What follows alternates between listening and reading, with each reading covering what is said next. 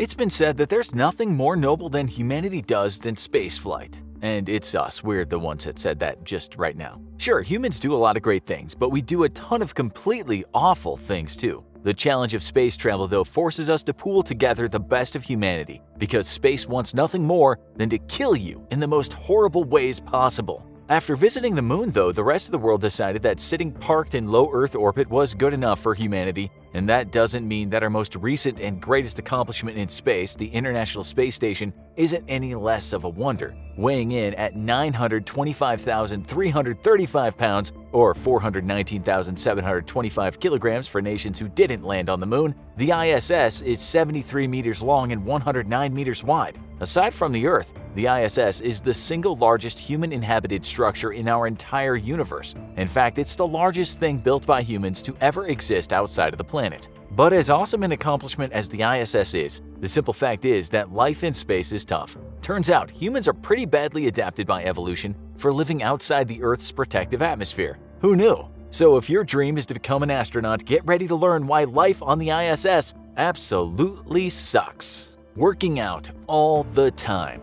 Humans evolved on Earth, but in the last 60 or so years, we decided that Earth wasn't good enough anymore, and just like the Jeffersons, we moved on up to a deluxe apartment in the sky. Sort of. Turns out, though, that trying to live somewhere you didn't evolve to habitate comes with some pretty serious side effects. On Earth, we have the gentle but constant pull of gravity keeping us firmly in place and occasionally reminding us that flying through the sky in giant metal tubes is blasphemy. All that gravity has a pretty profound effect on the evolution of our physiology, and very quickly after starting their respective space programs, both the USSR and United States discovered that fact. Gravity's incessant pull keeps our bones strong as our body constantly reinforces them with calcium so that we don't collapse into a heap whenever we try to stand up. It also has a myriad of unknown effects on the way that blood circulates and even how organs operate, and we're still learning about these effects as NASA prepares for long-term human habitation of the Moon and eventually Mars. If you don't like exercising, then space is not for you. Because if you want to live in space, you're going to have to do a whole lot of exercising. Each day, astronauts exercise for at least two and a half hours using specialized equipment meant to help them combat the effect of zero gravity on their bodies. Without exercise, astronauts start losing both muscle and bone mass because the body has nothing to fight against. But it's not just becoming a smaller, shrimpier version of yourself that you have to worry about, because low gravity makes it harder for blood to get around in your body, making you at risk of extreme fatigue and passing out. Fatigue, loss of bone mass and muscles, and the threat of constantly fainting, the ISS definitely sounds like a place it sucks to live in. But if you have a sensitive nose, you won't like our next reason why living in the ISS sucks. Recycled farts. Take in a deep breath. Odds are you probably smell whatever's immediately around you. But even if that scent is bad, you know it's just not going to linger for long. If your brother starts getting a bad case of the bottom end grumps, you know all you have to do is open a window and the stink is nothing more than a memory. Now imagine that you can't open a window or that you never get fresh air. That's the ISS. One of the chief concerns of spaceflight is ensuring that the astronauts have enough breathable oxygen. Because after extensive scientific research, man's greatest minds deduced that breathing is pretty important for keeping people alive. But getting things into space is extremely expensive, so expensive that getting a few months worth of oxygen up to the ISS is simply a non-starter without bankrupting a small nation. That's why the ISS uses state-of-the-art oxygen recycling systems, which can reuse oxygen over and over again. It does this by first splitting the water brought up in resupply missions into oxygen and hydrogen. That hydrogen is recombined back into water using black magic, or science we guess, which in turn means you can create more oxygen. But that also means that you're going to be rebreathing the same fart for a very long time.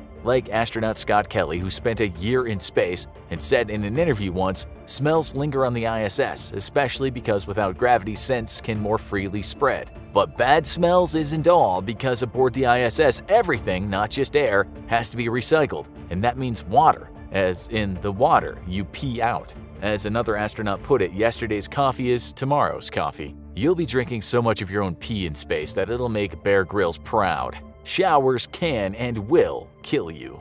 Who doesn't love a nice hot shower? Well, on the ISS, taking a shower is not just practically impossible, but also potentially deadly, as American astronauts found out back in the Skylab days. During the early days of spaceflight, when crews would be in space for a few days, they had no chance to clean themselves, and it was said that the smell of returning astronauts and cosmonauts was so strong that it was like running into a wall for the crews that recovered them. When the US put its first space station into orbit, Skylab, one of the things that NASA determined would be important was crew comfort, and so it included a sort of shower. The Skylab shower consisted of a special curtain you could pull up around you which cocooned you into a small tube-like structure. Then you turned on the water which shot down on you from above. Above, of course, being an extremely relative term in space. You would then lather up and wipe yourself clean with floating water before vacuuming it all up. The problem, though, is that in zero gravity, water behaves more like jello than, well, water, and tends to clump together. Also, it has nowhere to fall to, so it just sort of floats around, heading wherever it last had momentum toward. This proved to be particularly dangerous as large clumps of water could easily be inhaled or float directly over an astronaut's mouth or nose. Also, there was the ever-present threat of water getting loose and floating everywhere. And on a space station jam-packed with delicate electronic equipment, the last thing you want is an electrical short. Skylab's shower risks were so bad that when it came time for the ISS, NASA said astronauts would just have to resort to wiping down manually. While many astronauts will attest that you can get decently clean in space wiping yourself down with wet towels, the truth is that you can only get so clean when you can't run soap and water over you. Radiation everywhere. On Earth, radiation is only a concern when ordering sushi fished off the coast of Fukushima or when one's trying to get the superpowers of a spider. Space, however, is pretty much lousy with radiation, and at such extreme altitudes, astronauts on the ISS don't enjoy as many of the benefits of Earth's magnetic field to protect them as we do. You'll pretty much notice immediately that you're suddenly smack dab in the middle of a cosmic radioactive shooting gallery the first time you close your eyes. With your eyes closed, you'll start seeing flashes of light, like some sort of disco resurgence, but it's not terrible 70s music making a comeback, it's the universe trying to murder you to death. Stars, black holes, and all kinds of other celestial phenomena do all sorts of sciencey stuff all the time. A lot of that nerdy sciencey stuff creates radiation. That radiation then travels across the universe until it finds your soft, squishy body full of DNA to destroy. The awesome light show you're enjoying with your eyes closed is highly charged particles smacking into your eyeballs and tricking your brain into believing it's receiving a signal telling your eyes that they see light. And the flashes are just from the radiation hitting your eyes. Imagine how much more blasts the rest of your body and you can't even see. But of course, the ISS is well shielded against radiation, but nobody knows just how well protected you would be in the ISS from a particularly energetic release of radiation by the sun or a nearby star. Even with low levels of radiation though, the fact is your DNA is still being cooked over weeks, months, or even years in space. What does all that radiation do to your body? Well, we haven't observed enough individuals for long enough who've endured long-term spaceflight to really know yet. Most scientists agree that astronauts have a higher chance for cancer, and maybe like a 0.01% chance of superpowers, but just how big a chance for the big C is unknown.